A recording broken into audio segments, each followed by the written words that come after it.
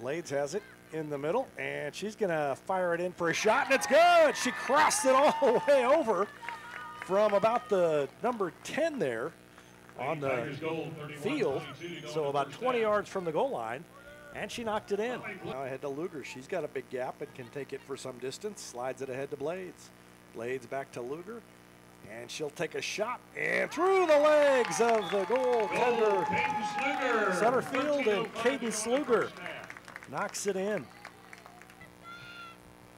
Fury around a defender, around a second defender, around a third defender, in the middle, and that is a good feed in the middle, and Paige Elsenroth finishes. So that's the goal that she almost had uh, earlier, and with 5.57 left, credit Kendra Peary for a lot of that because she took it up the right side and then fed it into the middle for the finish. But Luger's going to gather it in again.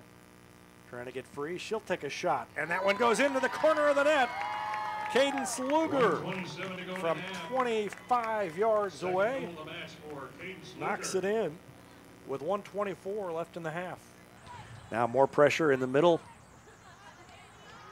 Redmond back to Cornelson, then Peary 20 yards away, fires it, and that's going to go in through Sutterfield from Kendra Peary, 20 yards out. Lady Tigers goal by Kendra Peary. Goal T-I-G. And with 33-57 left to go in the second half, that makes it 5 nothing.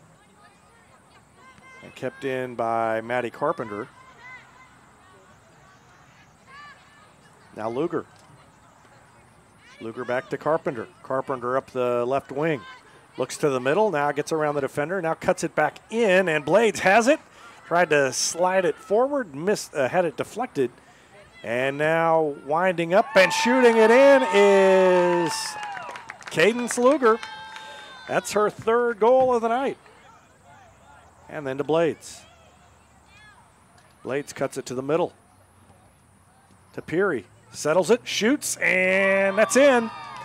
The shot by Peary oh on the assist from Blades with 20.03 left in the game. Now Blades crosses into the middle. It's off the fingertips and redirected in by Maddie Carpenter. Goal, Lady Tigers. And that is goal number eight.